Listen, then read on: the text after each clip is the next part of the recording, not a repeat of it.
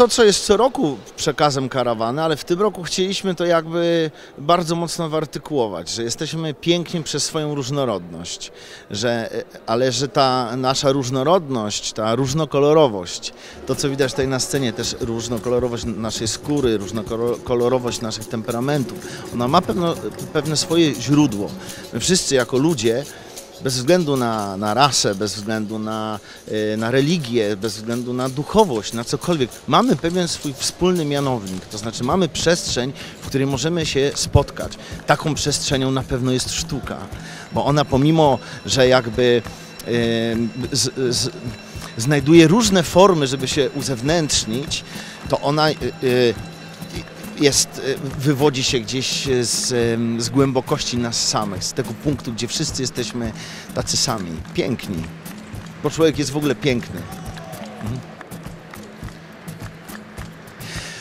To, to, to są artyści, można by powiedzieć, z Polski, z Europy, z, ze świata, bo, bo są i, i Bra Brazylijczycy, y, mamy i osoby uczące się czy mieszkające w, w Hiszpanii, y, mamy osoby z, z, Białorusi. W tym roku mamy trochę mniej obcokrajowców niż, y, niż w innych latach bywało, bo w tym roku jakby postanowiliśmy się, postanowiliśmy się przyjrzeć jakby osobom też mieszkającym w Polsce, ale bardzo mocno oddanym czy zakorzenionym w innych kulturach.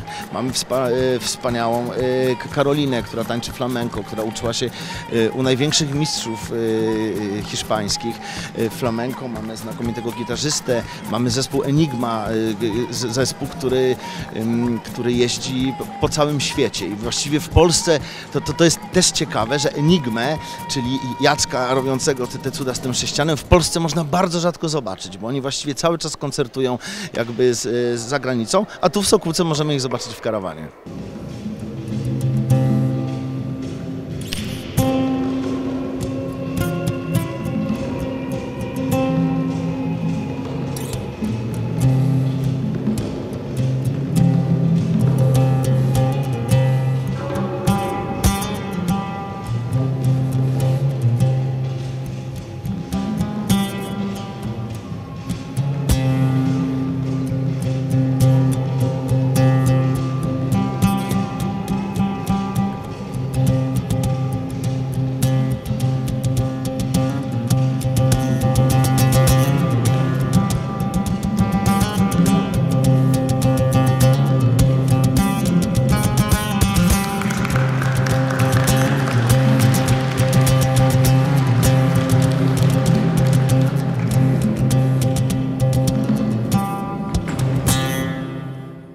Producentem karawany jest Salezjański Ośrodek Wychowawczy.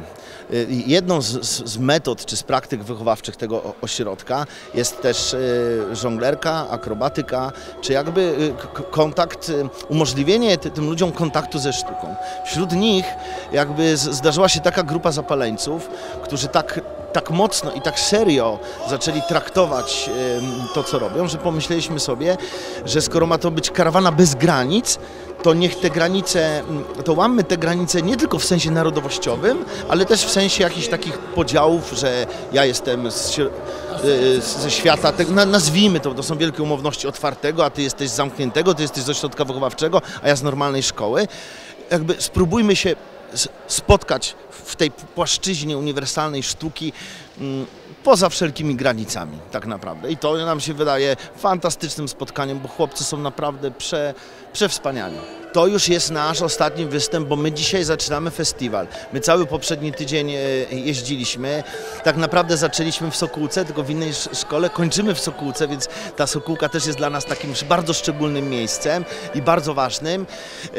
A w międzyczasie zjeździliśmy właściwie całą Polskę, najróżniejsze miejsca. Byliśmy i w Nidzicy, byliśmy w Ostrudzie, byliśmy w Łodzi, byliśmy poza y, Łodzią, w Sędziowicach, byliśmy w Dąbrowie Białostockiej. No, tego czasu nie mamy za dużo, bo mamy y, tak naprawdę w tym roku na karawanę mieliśmy tydzień, a nie jesteśmy w stanie fizycznie zagrać więcej niż trzech spektakli dziennie.